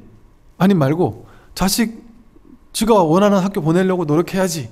못 가면 말고. 집 내 집 하나 있으면 좋지. 뭐 없으면 말고. 최선을 다해서 한단 말이에요. 생각 일으키고 마음 일으키고 열심히 하고 다 한단 말이에요. 마음을 낸단 말이에요. 그러나 물들고 집착하지 않는 것이 바로 무념입니다. 이러잖아요. 그런데 이 명상단체에서 무념이 뭔지를 모르니까 그냥 생각 없애려고 생각이 없는 그 빈틈을 길게 늘려나가야 된다 오늘은 얼마나 늘렸느냐 숫자를 호흡을 관찰하며 숫자를 세라. 숫자를 많이 세면 성공적이다. 많이 생각만 성공적이 아니고 난 하나, 둘 했는데 갑자기 생각이 들어왔다. 그럼 다시 하나로 내려가라 그래요. 그래서 이걸 막 10, 20, 30까지 하면 어이구 선정에 여기 힘이 세졌다. 어, 저는 그렇게 안 봐요. 하나 하고 다시 하나 하고 다시 하나 하고 하나 도 셋 됐다 다시 하나 하고 계속 하나만 해도 된단 말이에요. 그건 무슨 소리예요? 내가 올라오는 생각이 올라왔다라는 걸 분명히 보면 되는 거지. 생각은 문제가 없단 말이에요. 계속 하나로 내려가는 게 그게 성공이지. 이거를 뭐 100까지 올라가는 게 성공이 아니란 말이에요. 그거는 목표를 세워놓고 내가 오랫동안 내가 생각이 일어나지 않겠다라는 목표를 세워놓고 치달려 가는 거잖아요. 그건 진짜 명상이 아니란 말이에요. 물론 방편으로는 그렇게 할 수 있어요. 당연히 방편으로는 그렇게 할 수 있어요. 그리고 그것이 어느 정도는 도움이 되기도 해요. 그런데 방편으로는 그렇게 하더라도 본질적인 서원은 본질적인 무념은 그것이 아니다라는 안목을 갖추고 방편을 그렇게 하는 건 나쁘지 않아요. 알고 알고 쓰면 알고 쓰면 거기에 물들지 않으니까 물들어 그 방법에도 집착하지 않으니까. 근데 이것만이 진짜라고 하고 이것에만 천착해 있으면 그 사람은 이 진짜 무념초에 도달하기가 어렵잖아요. 유의 조작해서 만드는 명상만 할 거니까 이 사람은. 근데 너무 모르는 사람에서 방편으로 이런 방편을 써서 가르칠 수는 있겠죠. 그러나 본인은 놓여놔야 되겠죠. 마음을 일으켜 쓰면 일체처에 두루 하지만 역시 그 일체처에도 집착하지 않습니다 이, 이 육주당경이 저 이거 몇 년 전에 강의를 한번 하고 이번에 다시 이렇게 좀 하나하나 좀 자세히 하는데요. 그때는 그때는 또 한 세네 달에 네 달인가에 다 끝내야 됐었고 좀 부랴부랴 하기도 했었고 뭐 정신도 없어 그래 그러는지 몰라. 아 지금 다시 이렇게 강의를 하면서 다시 짚어보면서요. 정말 한 구절 한 구절이 한 마디 한 마디가 정말 왜 육조당 경이라고 그냥 한 스님이 쓴 건데 왜 경이라고 붙였는지를 알겠다 싶으면 정말 주옥 같아요. 정말 하나하나가. 아 너무나도 너무나도 너무나도 아름다워요. 그러니까 옛날에는 이제 제가 제가 이제 그 글을 글을 쓸 때 이렇게 막 이제 뭐랄까 옛날 옛날 경전 스타일로 안 쓰고 좀 세련미 넘치게 요즘 현대 사람들이 이해하게 좀 써야 되, 지 않나? 내지는 그래야 사람들이 이해하지 않나? 뭐 이런 식의 생각을 했었던 것 같아 옛날에. 왜냐하면 옛날에 서양인들이 쓴 글들을 보면 너무 세련된 거예요. 우리 경전만 보고 살다가 그런 거 보니까 이야 이 똑같은 얘기를 어떻게 이렇게 세련되게 또 누구나 다 이해할 수 있게 이렇게 썼을까? 그 되게 막 놀라웠어요. 이제 기억나는 게 이제 그, 그, 그 오쇼의 책을 읽을 때, 와, 이 말, 그 말을 되게 아름답게 이렇게 써놓고 막 너무 감동적이었던 기억이 나요. 근데 엊그제 이제 우연히 저한테 그 책이 있는지도 몰랐는데, 뭐 이렇게 책장 정리를 하다 보니까 마조라고 있길래, 어? 마조가 있었나? 하고 보니까 오쇼가 쓴 마조가 있길래, 요즘 마조로 강의도 하고 있어서 그냥 몇 장을 봤는데, 옛날에 그렇게 아름답게 느껴지는 그 구절들이 어 뭐랄까 이렇게 이게 좀 많이 보인달까? 그 하여간 이렇게 이, 이, 그렇게 이런 이런 구절들이 더 아름답게 느껴져 이제는. 뭐 그, 이렇게 어찌 보면 이렇게 단순하고 담백한 이런 경전 이런 어록들이 아 정말 깊이가 있어요. 맛이 맛이 있어요. 맛이. 근데 못 읽겠더라고 이제는 이게, 이게 뭐 좋고 나쁘고를 떠나서 떠나서 아, 이제는 그거를 몇 장 못 읽겠더라고요. 어, 마음을 일으켜 쓰면 일체처에 두루하지만 역시 그 일체처에도 집착하지 않습니다. 마음을 일으켜 쓰면 일체처에 두루해요. 일체처에 두루한 게 진짜 마음이에요. 일체처에. 뭐, 진짜 마음은 참마음이라고 말, 말할 만한 이 진짜 마음은 법신 편만 어 법계라고 하듯이 법신이 진짜 나의 진짜 본래 마음이거든요. 이 진짜 자기 마음은 이 법신은 편만에서 편만 여기 있는 게 아니고 이 몸속에 있는 게 아니고 편만 두루 퍼져 있다 이거예요. 우주 전체 일체처에 두루 퍼져 있다. 편만에서 어법계, 법계 전체에 두루 퍼져 있다. 여러분은 몸 안에 갇혀 있지 않아요. 진짜 여러분의 진정한 자기는 충만 어법계라니까요. 법계에 충만해 있어요. 두루 퍼져 있어요. 온 우주 전체가 바로 나예요. 이 허공계, 허공성 전체가 바로 나다. 여러분들이 지금 그 앉아서 이렇게 듣고 꼼지락꼼지락 하고 이렇게 걸어서 들어오시고 절하고 그 내가 하는 거라니까요. 여러분이 이렇게 차를 타고 운전하고 가거나 지하철을 이렇게 타고 앉아 있으면 지하철에서 움직이는 모든 사람들의 행위 하나하나가 그 자기가 하는 거예요. 차가 움직이는 거 모두가 이게 다 자기가 움직이는 거라니까요. 마음 하나가 움직이는 거예요. 대기 대용으로 쓰고 있단 말이에요. 대기 대용으로 마음 하나가 그 전체를 굴려 쓰고 있다니까요. 남들이 마음 내는 걸 이렇게 보면 전혀 낯선 사람, 처음 보는 사람이나 낯선 사람을 봐도요. 우리가 그런 느낌 있지 않나요? 낯선 사람을 처음 봤어요. 아니면 연예인이나 뭐 특별한 또 독특한 사람들, 이상한 사람들을 한번 만났어요. 근데 그 사람과 이런저런 얘기를 주고받다 보면 익숙하지 않나요? 그들이 생각하는 패턴이나 말하는 거나 이런 게 나와 다른 점도 물론 있죠. 그죠? 다른 점도 있는데 되게 익숙한 패턴들이 누구에게나 다 있잖아요. 아, 그 되게 익숙한 패턴들이 누구나 다 있어요. 나도 했을 법한 나도 저랬을 수 있을 법한 이랄까? 하다못해 제가 인도 인도에 갔을 때요. 인도 사람은 우리랑 완전 다르지 않겠나 이런 생각을 가졌어요. 미국 갔을 때 미국 사람들은 우리랑 완전 생각도 다르고 개념도 다르고 완전 다르지 않겠나 이런 생각을 했어요. 그런데 다른 점도 있지만 뭔지 모르게 이렇게 같은 지점 뭐 이런 느낌들을 좀 받을 수 있었는데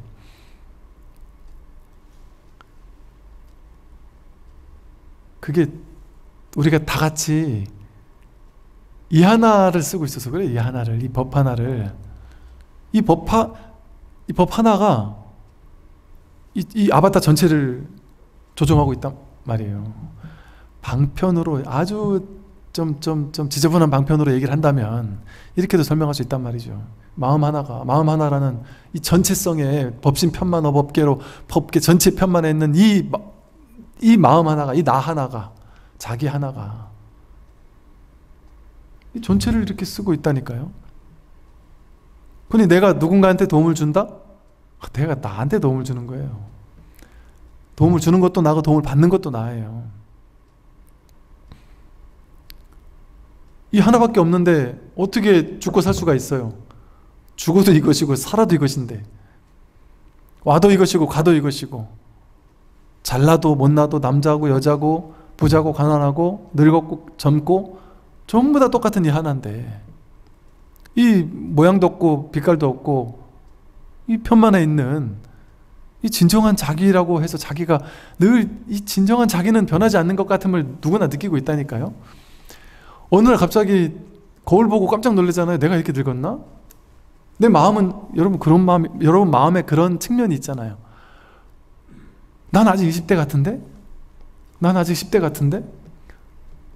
이런 측면이 있다니까요 그 이내 남편을 내가 사랑하는데 아니면 내가 옛날에 이 남자친구 사랑하는데 전혀 다른 남자애를 만났는데 얘한테도 설레 그럼 속으로 죄의식 느끼잖아요 원래 그런 거예요. 마음은 인연 따라 인연에 동하는 거예요. 그냥 인연에. 그게 죄가 아니라.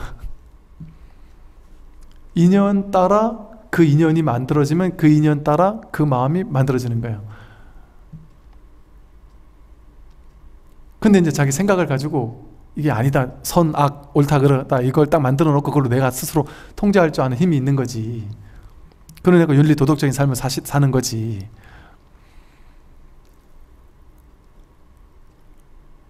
근데 이 법만을 본다면 위험하죠, 이 법은. 선악이 따로 없으니까. 예를 들어 한 남자가 한 여자만을 사랑해야 된다. 그거 진리예요? 그럼 법칙 있습니까? 그럼 일제 다부제 국가는 삿된 국가겠네요? 일부 자체적 국가도? 옛날 원신들도? 그 그냥 다 만들어진 거죠, 전부 다. 전부 다 만들어진 거죠. 모든 제도 뭐 모든 게 다 만들어진 거예요. 여기 하나에는 아무것도 없다니까요. 텅 비어 있단 말이에요. 그건 공이라 그러잖아요. 공. 뭐 하나 내세울 게 없어요. 그러나 이 사실을 깨닫고 나서도 세상이 미쳐 돌아가지 않는 이유는 마음을 내되 머무는 바 없이 마음을 내기 때문에 즉 그게 텅 빈 하나임을 알지만 이 현상 세계도 안단 말이에요. 그러니까 이법계, 사법계라고 하는 게 이법계는 이법계대로, 사법계는 사법계대로 그 사실에 원만하게 원만하게 반응한단 말이에요. 그 현실 세계의 법, 법은 현실 세계의 법칙대로 잘 지킨단 말이에요. 스님들도 이 법 하나를 깨달아서 본래 법도 없다 하고 법을 막 어기고 이런 일이 없단 말이에요. 아니 나고 죽는 게 없으니까 난 지금 죽어도 돼 하고 죽지 않는단 말이에요. 너와 내가 둘이 아니야 이러고 막 죽이지 않는단 말이에요. 네 돈이 내 돈이고 내 돈이 네 돈이 하고 막 훔치지 않는단 말이에요. 텅빈 사실을 알지만 현실은 현실대로 현실의 지혜는 그거대로 그러니까 이 법계와 사법계가 다 있단 말이에요. 그래서 이사가 무해한 이 법계를 살고 있는 거죠. 현실 현실도 무해니까 현실 현실에서도 잘 산단 말이에요. 이치적으로 확연히 깨어 있다 할지라도 그래서 마음을 일으켜 쓰면 일체에 처에 도로하지만 일제초에 도루해요 우리 마음이 역시 그 일제초에도 집착하지는 않습니다. 그러마나 또 그 일제초라는 것도 집착하지 않아요. 본래 마음이 청정하면 본래 마음은 그냥 청정해요. 본래 마음이 청정하면 육식이 육문으로 나와 육진 속에 있더라도 오염되거나 뒤섞이지 않고 오고 감에 자유로우며 막힘없이 통용되니 이것이 곧 반야삼매요 자제 해탈이고 이를 일러 무념행이라고 합니다. 본래 마음이 청정한 이 자리에 있으면 육식 자기 아르마리 분별심. 분별심이 여섯 가지 분별심이 봐서 하는 분별 귀로 소리를 듣고 하는 분별 냄새 맡고 하는 분별 말하는 분별 감촉을 느끼고 하는 분별 또 생각으로 하는 분별. 이 여섯 가지 분별심 그 분별심이 육문으로 나와서 이 눈기코 흉음 뜻이라는 육문으로 나와서 육근이죠. 육근 육문이라고 하죠. 육문으로 나와서 저 바깥에 있는 육진 바깥 특별 경계 육경. 육경 속에서 있더라도 내가 이 눈으로 저것을 보고 귀로 어떤 소리를 듣고 하면서 혐음 뜻이 색상의 미축법을 접촉하더라도 이 접촉하는 속에 있더라도 이 세상을 살아가더라도 오염되거나 뒤섞이지 않는다. 눈으로 무엇을 보더라도 오염되거나 뒤섞이지 않는다. 보고 분별은 다 할 줄 알지만 거기 사로잡혀 집착하지는 않는 거예요. 오염되거나 뒤섞이지 않는 거예요. 그 분별 다 할, 보고 나서 분별 다 할 줄 알고 거기에 응해서 살지만 거기에 집착하지 않, 않고 실제화시키지 않고 그게 실제라는 생각이 없어요. 인연따라 잠깐 생겼다 사라진 허망한 텅 빈 공이라는 사실을 알, 알지. 그러니까 심각하게 집착하거나 밀쳐내거나 붙잡으려고 하거나 취사간택하려 하지 않는 것이죠. 그래서 이 육식이 육문으로 나와 육진 속에 있더라도 18개가 막 아무리 화합을 하더라도 오염되거나 뒤섞이지 않는다. 보는 것에 오염되거나 뒤섞이지 않고 듣는 소리에 휘둘리지 않고 냄새나 맛에 휘둘리지 않고 감촉에 휘둘리지 않고 생각에 휘둘리지 않는다. 오고 감에 자유로우며 와도 온 바가 없고 가도 가는 바가 없어요. 늘 자기 발 위에 있는 거예요. 부산에서 서울을 왔다 가지만 왔다 가지만 오는, 오는 바도 없고 가는 바도 없어요. 그냥 이 자리에 있는 거지. 제가 오고 가는 동안 막 뛰겠어요? 가만 앉아있지? 차 속에 그냥 가만 앉아있지? 그냥 여기 있는 거예요. 눈앞에 있는 거예요. 눈앞에. 근데 생각이, 생각이 무거운 거죠. 생각이. 그러니까 우리나라 사람들이 이러는 거예요. 야, 나는 출장을 멀리 가야 되니까 너무 힘들어. 나는 내일은 대전까지 갔다 와야 되고 모레는 광주를 갔다 와야 되고 글피는 부산 갔다 와야 되고 맨날 이렇게 출장 다니는 게 너무 머니까 너무 힘들어. 이게 힘들다는 생각에 막 꽉 쌓여있던 사람이 해외로 1년을 나갔다 오셨어요. 나갔다 오고 나서 저한테 그 얘기를 하시더라고 미국에 갔다 오니까 우리나라에서 서울, 부산 뭐 왔다 갔다 하는 게 그렇게 힘든 줄 알았는데 아니 미국에 가보니까 대전 같은 데는 그냥 그냥 옆 동네 정도? 이건 뭐 긴 먼 게 아니더라는 거예요. 자기는 또뭐 이렇게 뭐 이게 사업고 관련된 뭐 아이템을 차에다 싣고 다녀야 되다 보니까 비행기로 못 다니니까 차를 가지고 다니는데 뭐 워싱턴에서 샌프란시스코에 한번 가려면 몇 날 며칠을 이 도시 저 도시로 다니면서 하루 다니려면 뭐 한도 끝도 없더라는 거죠. 그러고 나서 한국에 오니까 해탈해 버렸다는 거예요. 내가 일 때문에 스트레스 받는 것 때문에 이 회사를 그만둬야 되나? 나머진 다 좋은데 이 회사를 그만둬야 되나? 엄청 스트레스를 받았는데 내가 차를 운전해서 서울, 대전, 대구, 부산을 맨날 왔다 갔다 하는 직업이 하, 내가 계속 해야 되는 스트레스를 받았는데 꼭 갔다 오고 나서 그 스트레스가 사라졌다는 거죠. 이 뭐 부산 왔다 갔다 하는 것도 잠깐이더래요, 그냥. 그럼 뭐 아침에 잠깐 갔다 저녁 때 와도 될 정도에 아무것도 아니더래요. 근데 아무것도 아니라는 생각을 딱 믿었더니 실제 현실이 아무 문제가 사라 그 전에 그렇게 나를 이 직장이 단점으로 보이던 모든 문제가 싹 사라져 버리더래요. 하물며 옛날에 내가 이렇게 운전을 오래 하다 보면 다리도 몸, 몸이 건강해지지 않을까? 막 그런 것 때문에 엄청 스트레스를 받았는데 그러면서도 운동도 안 하고 있었다는 거죠. 근데 이분이 어 이제는 괜찮네 하고 야 부산도 아무것도 아니야라는 생각을 가지고 아무것도 아니게 그냥 운전을 하고 다니다가 다리가 좀 아프더래요. 근데 다리 아플 때는 아 내가 다리 아프니까 아프구나 운동하면 되겠지. 그러니까 더 열심히 운동을 하게 되더래요. 더 열심히 운동을 하니까 또 안 아프더래요. 스트레칭도 하고 하니까. 그러니까 몸은 더 건강해지고 오히려 더 건강해지더라는 거예요. 아무 문제도 없는데 내가 문제 만들었었구나. 그러니까 생각이 부담스러운 거예요.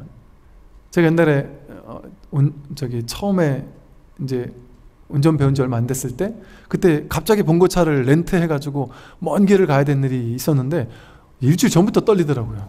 무서워서. 봉고차 운전도 해본 적도 없는데 렌트도 해본 적도 없는데 이걸 사람을 태워가지고 저 먼 곳을 갔다 와야 된다는 게 근데 막상 가보니까 내가 저 먼 곳을 가는 게 아니더라고요. 여기서 다음 바퀴가 굴러가는 그냥 그것뿐이더라고요. 별일 아니더란 말이죠. 이게 생각이 무거운 거예요. 생각이 부담스러운 거예요.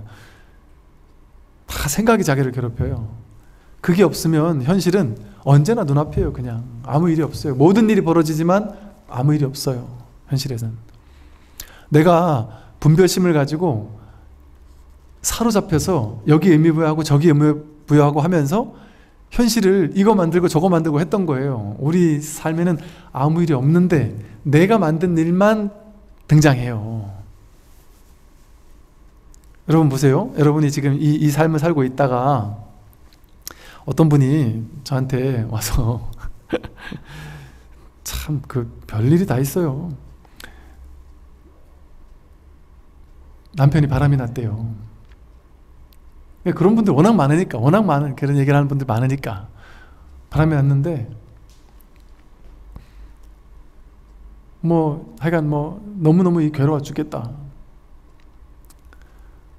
그런데 그렇게 얘기하는 분들 중에 어떤 분은 뭐라 그러시냐면 저는 이 사람이 지금이라도 나한테 미안하다 한마디만 하면 100% 용서해 줄 수 있습니다. 그럴 수 있죠, 사람이. 저는 그럴 수 있다고 생각합니다. 지금 이 안정적이게 살아왔던 이 삶을 전면 깨뜨리느니 어, 나는 뭐 그냥 난 용서해 줄 수 있습니다.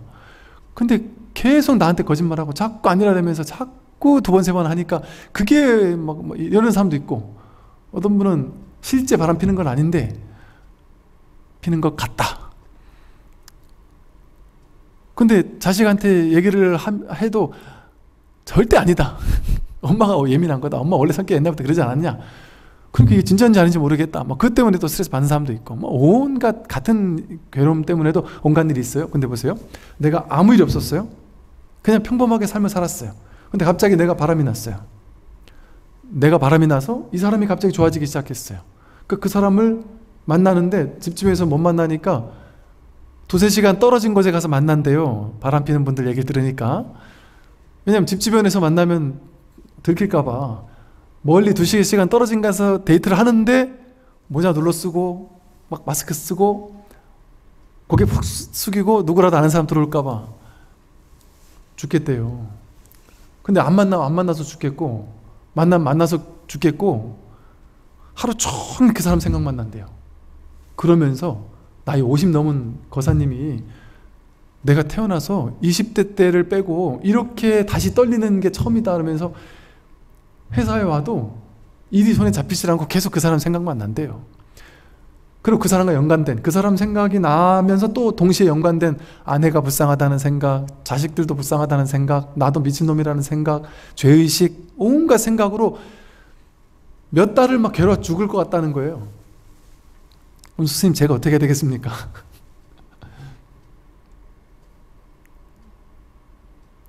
그러면 그 거사님이요. 지금까지 자신이 하던 프로젝트, 일들이 있었어요. 본인은 진급돼야 되고 뭐도 하고 뭐도 하고 일에 엄청 매진하던 분이었어요. 일 때문에 되게 중요하다고 여기는 게 많았어요.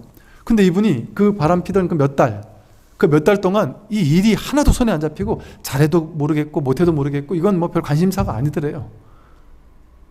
그렇게 철두철미하게 일을 하던 게 그냥 별 관심이 없어지고. 그러니까 이 사람에게는 오로지 그, 그 사람 내 인생의 가장 큰 비중으로 갑자기 확 다가버린 거예요. 내가 하던 그 많던 일들이 이게 비중이 싹 사라져 버렸어요. 그러니까 이것만 내 인생에 딱 뚜렷하게 드러났단 말이에요. 그러나 이 일들이 없었느냐? 계속 있어요. 근데 이게 중요하지 않게 됐었단 말이에요. 사로잡히면 그것만 보입니다. 이것만 보입니다. 그러다가 문득 각성했어요. 깨어났어요. 야, 내가 진짜 실수했구나. 내가 참회하고 딱 그냥 큰 맘 먹고 딱 놔버렸어요. 근데 그게 이제 본인이 의지를 가져 놔보는 건 아니고요. 본인이 절대 안 만나겠습니다 이러다가 그래도 만났대요. 만나다가 나중에 어떻게 헤어졌나 봤더니 몇 개월을 좀 오래 사귀다 보니까 이 사람 단점이 보이더래요. 오래 만나다 보니까. 그 단점 몇 가지가 보이고 나니까 아, 이 사람이 내가 처음에 생각했던 그 막 환상적이던 사람이 아니더라는 거예요.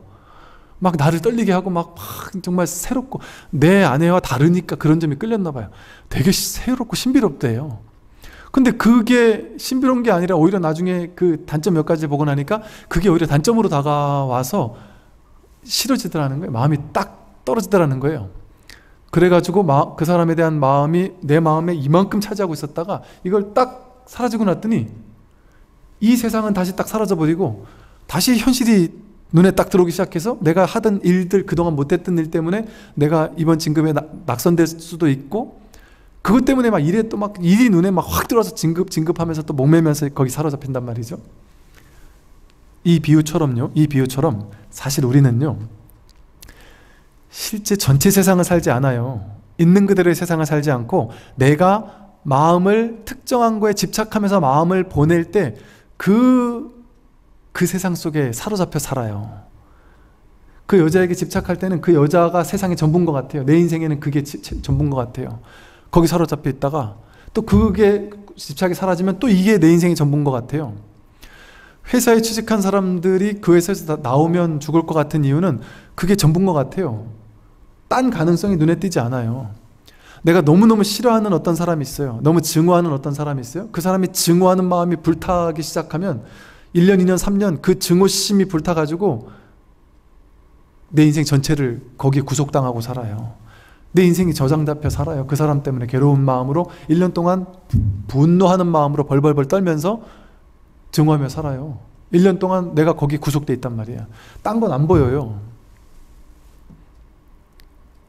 이게 이게 우리의 삶입니다. 그게 무슨 말이냐면 내가 집착하고 있다라는 게 집착이 바로 분별이잖아요. 분별해서 내가 그걸 취하려는 마음이잖아요. 내가 분별하는 것만 나는 보고 사는 거예요. 분별하는 것이 내 인생인 거예요. 그러니까 우리 인생은 내가 분별한 것이 내 인생으로 등장하는 것 뿐이에요. 자식이 내 인생에 제일 중요해 하면 그 자식이라는 분별이 내 인생에 딱 등장해서 내 인생의 90%가 자식에 왔다 갔다 해요. 어떤 분들은 자식에게 올인한단 말이에요. 근데 어떤 부모님은 보니까요, 자식에게 어떻게 저렇게까지 관심 없을 수가 있지 싶을 정도로 관심 없는 정도가 아니라 뒷바라지를 안 해주는 정도가 아니라 독립심을 키워줘야 된다고. 뭐 그것도 틀린 말 아니죠. 뒷바라지 해주기는커녕 독립심을 키워준다 한다고 스스로 집안 청소도 다 시키고 밥도 빨래도 시키고 니나 나나 똑같은 사람 아니냐. 그리고 내가 밥하면 네가 설거지하고 그래서 그러고 사는 집들도 있어요. 그게 무조건 잘못된 것도 아니에요. 그, 그 아이들이 되게 독립심이 있게 살기도 하더란 말이죠. 그러면 보세요. 부모니까 자식에게 무조건 해야죠. 그거 자기 생각이죠. 자기가 그렇게 스스로 구속한 거죠. 스스로 집착한 거죠. 이것처럼요. 한 가지에 집착해서 꽂히잖아요. 그게 전부라니까요. 내, 내 우주는 그게 전부가 돼버려요. 그게 내가 보는 세계가 돼버려. 그러니까 내가 하나에 괴로워가지고 죽고 싶은 마음이 들잖아요. 그러니까 장병들이 여자친구 헤어진다면 죽고 싶다 그러고 세상이 다 희뿌옇게 보인다 그러고 죽는 거 외에는 방법이 없게 보인다 그래요. 세상에 아름다운 게 1도 없다 그래요. 그 옆에 다른 친구들이 야, 내 이번 휴가 나가서 진짜 더 예쁜 여자친구 소개시켜주게 해도 아무 의미가 없대요. 그 사람 외에는 이, 이 세상에 나를 살아있게 할 수 있는 의미는 아무것도 없다 그래요. 그러니까 자살하는 거 아니에요? 성적에 집착하는 사람은 성적이 100%면 내 분별에 100%가 성적으로 집착에 가 있으면 그거 떨어지면 죽고 싶은 마음 생긴다니까요. 이렇게 내가 보낼 때 그 우주가 나한테 연기되는 거예요. 실제 그런 우주는 없어요, 세상에. 내가 마음을 보낼 때 그 우주가 나한테 딱 연기해서 실제인 것처럼 착각되는 거예요. 실제 하는 세상은 없습니다. 내가 마음으로 만든 거예요. 그 심 외 무 물 이런단 말이에요. 마음 바깥에 한 물건도 없다. 내가 분별로 만드는 거예요, 세상을. 집착하는 걸 통해서. 그러니까 내가 내 세상을 이렇게 만들고 저렇게 만들어 놓고 내가 거기 사로잡혀서 그 사로잡힌 것만 딱 놔버리면 그냥 이대로예요. 아무 일이 없어요, 세상에. 마음 바깥에 정말 한 물건도 없단 말이에요. 이 본래, 본래, 본래 마음이 드러날 수 있단 말이죠. 근데 우리는 항상 집착의 대상을 바꿔가면서 계속 집착하는 놀이를 하고 산단 말이죠. 10대 때는 성적에 집착했다가 20대는 이성에 집착했다가 30대는 뭐 직장에 집착했다가 40대는 진급에 집착하고 50대는 자식에 집착하고 60대는 건강에 집착하고 집착의 대상만 바꿔가면서 자기 분별의 세계를 바꿔가면서 그 집착놀이 잡았다 놓았다 놀이 그 구속당하는 놀이를 하고 산단 말이에요 이거를 잡았을 때도 이걸 10대 때 성적에 집착했어요? 성적 집착했는데 그 집착한 것은 왔다가 갔죠? 20대가 되니까 이제 이성에 집착해요 20대 이성에 집착하는 마음이 왔다가 갔죠? 30대는 직장에 진급해요 집착해요 그 집착에 집착하는 마음이 막 있다가 또 40대 되니까 이제 자식에 집착해요 50대 되면 건강에 집착해요 그럼 보세요 집착하는 대상은 왔다가 갔죠 집착하는 게 나면 내 자식, 내 돈, 내 명예, 내 권력, 내 사랑 이게 이게 나면 그게 떠나갔을 때 나도 떠나가야죠. 근데 그거는 왔다 갔잖아요. 성적의 집착도 왔다 갔죠. 이성도 왔다 갔죠. 진급도 왔다 갔죠. 돈도 왔다 갔죠. 왔다 가거든요, 전부 다. 그런데 여기서 왔을 때 온 줄 알고 갔을 때 간 줄 알고 늘 여기서 그것을 온몸으로 경험하고 있었던 마주하고 있었던 진짜 나는 왔다 갔나요? 집착하는 것들은 왔다 갔지만 대상으로서 왔다 갔지만 나는 왔다 갔냔 말이에요. 느낌, 생각, 감정, 의지, 의식 전부 다 왔다 가잖아요. 좋은 느낌도 일어나고 싫은 느낌도 일어나고 왔다 가잖아요. 심지어 몸도 왔다 가잖아요. 이렇게 먹고 이렇게 가잖아요. 젊었을 때 몸과 20대 몸과 30대 몸과 지금 몸이 다르단 말이에요. 몸도 왔다 갔잖아요. 근데 왔다 가지 않은 게 뭔가 하나 있잖아요, 여기.